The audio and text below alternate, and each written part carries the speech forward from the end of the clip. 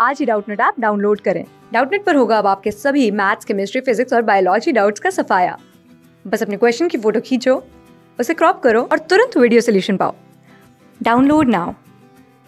Hello everyone here the question is saying that instruction is helpful in improving the mental health of a learner because okay so instruction जो है वो किसमें help करते हैं? It is basically helping in improving the mental health of the learner या कह सकते हैं ऑफ़ द स्टूडेंट ओके तो मैं बताने what is the reason behind it हमारे पास तीन रीजन के मैंने।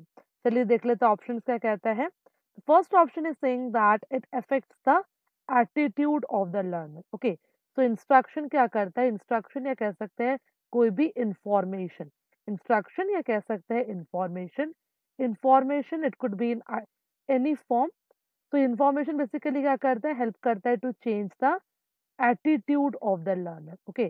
तो इससे क्या होता है? लर्नर का जो एटीट्यूड है, वो चेंज होता है, ये बिल्कुल सही है।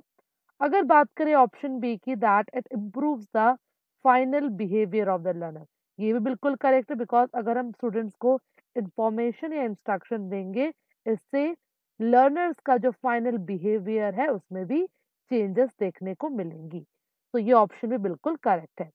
अगर बात करें ऑप्शन सी की, that it is quite helpful in improving the final behavior as well as the attitude of the learner. So हमने देखा कि yes, this instruction or we can say information is basically changing the attitude and the final behavior.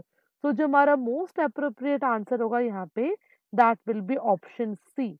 Okay, so option C will be the most appropriate answer for this question. I hope the question is clear to all. Thank you. Class six से twelfth से लेके NEET I I T JEE mains और advance के level तक। दस million से ज़्यादा students का भरोसा। आज ही डाउनलोड करें डाउट नेट आप या व्हाट्सअप कीजिए अपने डाउट्स आठ चार सौ चार सौ चार सौ पर।